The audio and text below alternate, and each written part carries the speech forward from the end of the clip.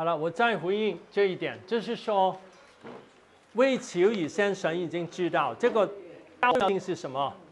重要性是神知道，神知道，神知道我们所有的需要，但不代表不祈求。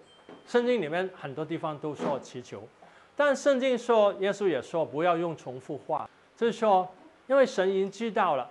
有些人以为他们话多了闭门谁听，其实不需要重复话。其实圣经更多应许是当我们爱神的时候，爱神神就为我们预备眼睛未曾看见，耳朵未曾听见的恩典了。先求他的国和他的义，这些东西都要嫁给我们。所以圣经里面应许很多，我们亲近神、爱神，啊，进入神的同在，在神的同在，藏在我里面的，藏在耶稣里面的，耶稣也藏在我们里面，我们就多结果子。就是说，我们祷告很重要，是爱神、亲近神、住在神的同在。这些圣经有很多应许，例如以耶和为乐，他就将你心里所求的赐给你；以耶和为乐，他就将叫我们成家地的高处。圣经很多应许是讲到我们怎样以神为乐，喜悦神、爱慕神，啊，看重神、敬畏神，啊，将神放在首位的时候，也同时当然是亲近神是重要。耶稣的意思是说，你不要以为你想得到什么，你重复的告诉神。重点是这一点，不是重复，更多是去亲近神，相信神的同在，相信神的爱，一边爱慕神，神的祝福就临在。但我们应该祷告吗？应该必定要祷告，不祷告与神不能连接，就没有祝福的。所以啊。祷告最重要是与神连接，最重要祈祈求是不是最重要？因为圣经强调爱神、亲近神多于祈求。祈求是应该的，但不需要重复祈求。这个是我的重点，重点哈，明白吗？还有没有不明白的？有没有不明白的？而且神的同在带来祝福，在旧约、新新约都有的。不同的经文讲到神的同在。呃，牧师，我想问一下啊，就是不说有时候我们祷告，就是说你为哪个事情祷告，一直祷告到成全为止，是不是啊？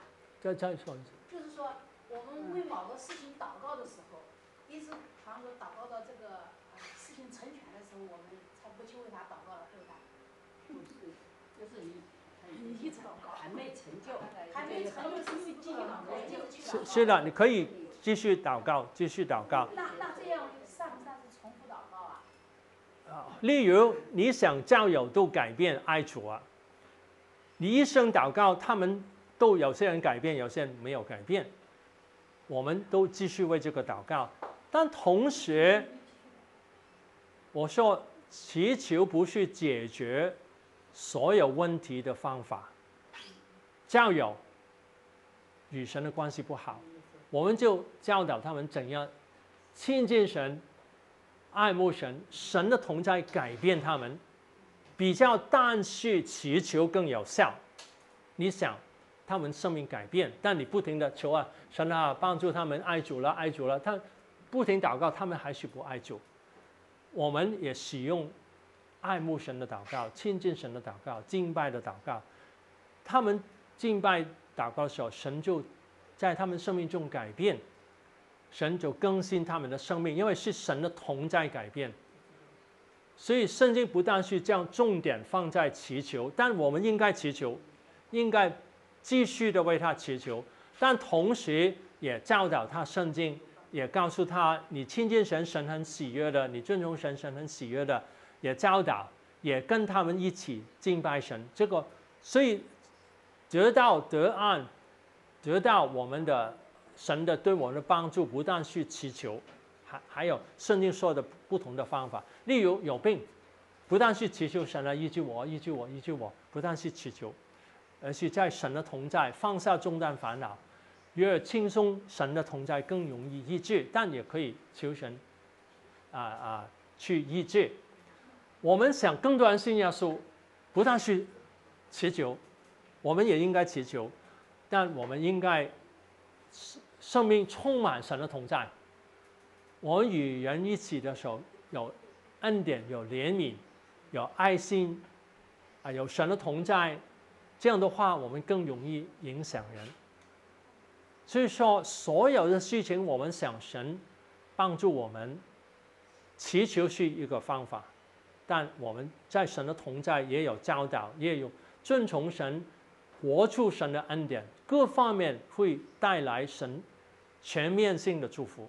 圣经没有，但是说你祈求问题就解决。例如保罗传道，不但是祈求，他赞美主，他有神的同在，他去传道，去每一方面配合一起来带来改变。我有没有回回答你的？好的。但继续祷告没有问题，继续祷告，但你不需要一天啊。一百次说啊，神啊，更新他的生命啊，更新他的生命啊，不需要一天不停的说这句话。你你你说很多次都没有问题，但不要以为你说的多就会蒙谁听谁听啊！你你你关心你的儿女，你当天你为他祷告很多次没有问题，就是不要以为你祷告很多次他就改变，也需要我们的生命影响他爱心啊，也。看他愿不愿意一起祷告啊，这这样去改变。我们自己有神的同在，也可以帮助他改变。还有一个问题哦，就是罪的问题，就是每天犯了口舌的罪啊。关于有罪，我们必定悔改，求神赦免，也去改，必定是这样的。我刚才是意思是这样的。有些时候我们生命还是有软弱。我们就求神赦免，我们去改，但还是改不够好。有些改的不够好的时候说啊，我还是不够好，神不喜悦我，我就说不要这样想。当你还是在改，例如有些人有低沉不开心，很多人都容易有这个情绪的，他就说啊，帮助我想着神的恩典。其实喜乐的秘诀是想着神的恩典，神喜悦我亲近他。我们就啊，亲近神，也相信神喜悦我，我就啊越来越平安喜乐了。但还是有不开心，有不开心的时候就悔改，求神帮助，就不要继续控告自己，继续我要改变，我就开心了，我就感谢神，我就可以开心。但关于对付罪，我会说彻底的对付罪，为什么呢？任何罪都有破坏性，任何的负面思想情绪，里面有烦恼都有破坏性，所以我在里面我尽量处理。我有不开心，有些人令我不开心，或者是有困难令我不开心，有责任令我不开心，有烦恼有重担，我就说，越有重担越没有力量，所以我就说神，我就。化解化解这个重担，我就说神帮助我，神喜悦我的努力，我在努力，神很开心，我尽力去做，神就喜悦我的生命也改变，我不需要烦恼，因为人的问题我不需要烦恼，我用个人的方法化解，告诉他，化解这个重担，化解这个烦恼的原因，然后我就说我可以开心，我就会。尽量将我所有的烦恼都处理，或者是对人的负面的看法完全的处理，让我不要对人有任何任何轻看啊、不喜悦啊、啊觉得他是麻烦啊，都尽量的处理，让我全然的正面的对他，这个是我尽量的处理。我自己去，因为我知道任何小罪都有破坏性，例如啊啊有。啊，例如在这个聚会啊，很多人都很开心，但有一个人啊不开心，有他说一些不好的话，我就是用这个例子啊，这这个没有这个情况，啊，我的心就说，哎呀，这个人为什么这样啊？哎呀，为什么这样说这些话？这个就影响我了。令我失去我的喜乐。我为什么要失去我的喜乐呢？他如果说什么话，不要紧的，不要紧的，就是啊，我可以尽量帮助他，我可以放手，我就会尽量用神的应许，神的啊啊神应许的帮助我处理这个情绪，或者是用另外另外一个例子，银亮啊有美女啊看到美女有一下子一个意念。马上就说这个有破坏性，不要看，不要想，不要被影响，马上处理。不能处理就赞美主，哈利路亚，赞美主，神在神喜悦我圣洁的，就尽快的处理。这个就是我，因为我知道神在每一个人生命都有奇妙计划，我很相信的。如果我听从神，神就为我开路，更大的路。将来影响更多人，这个是神的计划。但如果有罪，就有破坏性，所以我处理罪是很彻底的。但我去告诉人，有很多人想处理，还是有烦恼。就是处理这个的时候。来源。呃，原来现在好很多，过去就感觉到，呃，我虚心接受，屡教不改。心。当我发觉任何人、任何事情令被。给我影响。首先，我们接受这是人的罪性带来的，不要觉得啊，哎呀，我又又罪的意念，哎呀，我真不好啊！不要这样控告自己，而是说这是罪，求神赦免。我也尽量处理。每一个人都有不同的成长的程度，我接受每一个人不是同时的成成长到这个程度，我就接受，我不需要背负别人的担子。人不好，我不需要背负他的担子，也不需要吃他的垃圾。他不好，我不需要吃他的垃圾。他说什么话不好的，我不需要吃他的垃圾，我就放手。我是尽量整天在一种喜乐、平安、祝福人的心态，放下自己的心态，放下自己的所有的啊，我自己的自我，我的任何的骄傲，任何的不好的东西。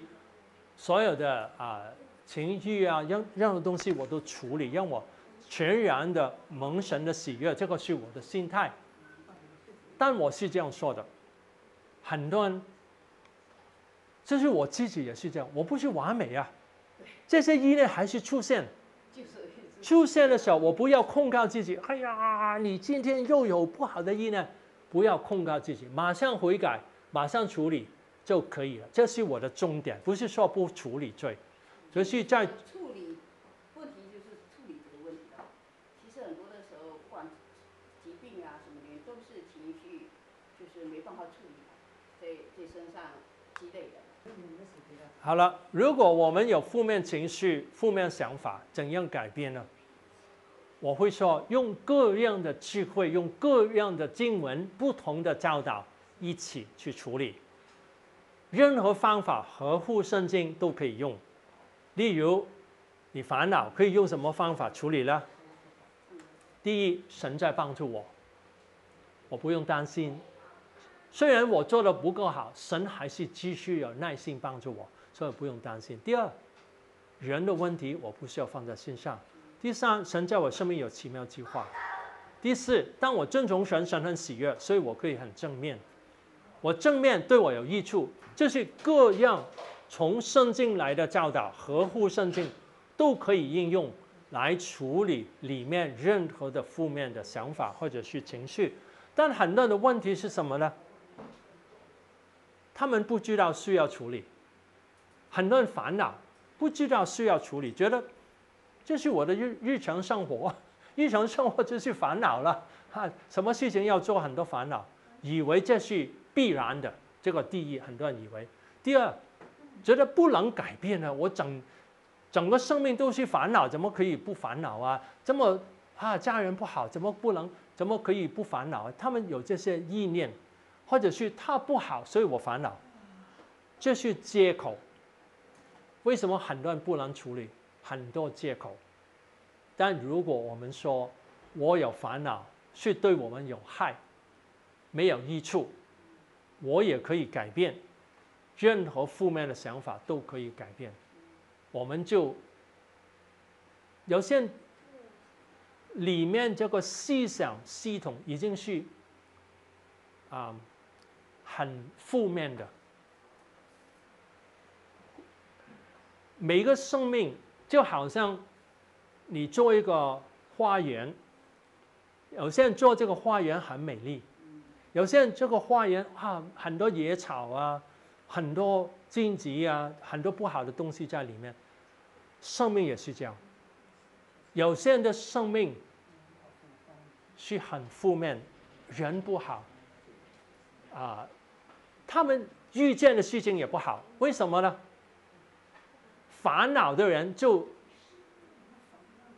造句很多烦恼在他身上，为什么？他对人烦恼，别人就对他烦恼的。我平安喜乐，人就对我平安喜乐的。我的关系也没有什么烦恼的，有烦恼我就处理的。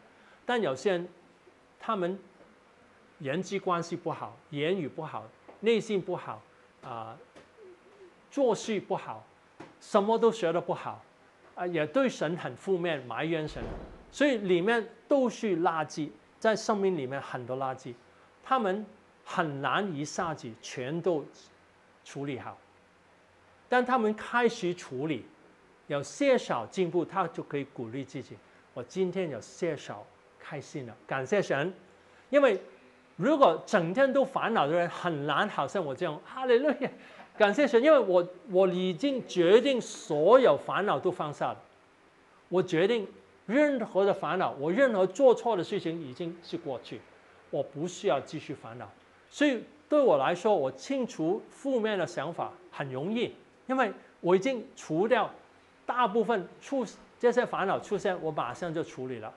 但有些人是比较难的，我就鼓励他们，你稍微改善，你就欣赏自己。你嗯，你感谢神已经改善，但不代表你就停在那里，你继续进步。这个就是我刚才说的意思。你稍微进步就感谢神，虽然还有软弱，不需要必须继续的控告，有罪马上就悔改，也处理。但有些人是这样的，整天处理还是不开心，为什么呢？